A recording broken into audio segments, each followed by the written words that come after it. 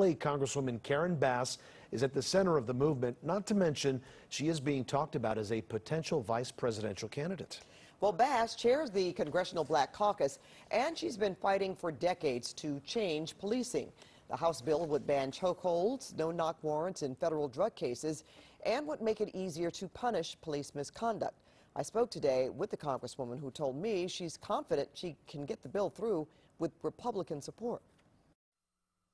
I'm actually very optimistic, and that's because I talked to so many of my Republican colleagues. First of all, three of them voted for the bill. That's a really big deal. Well, we have to get this done now.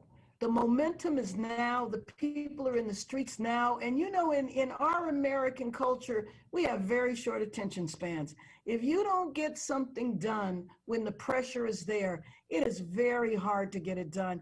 Anything regarding who the vice president chooses to be his vice presidential candidate uh, is is up to the campaign. What I can tell you is that I am going to work every single day. I think I think we have 130 days left because electing Biden as president of the United States, in my opinion, is a matter of life and death.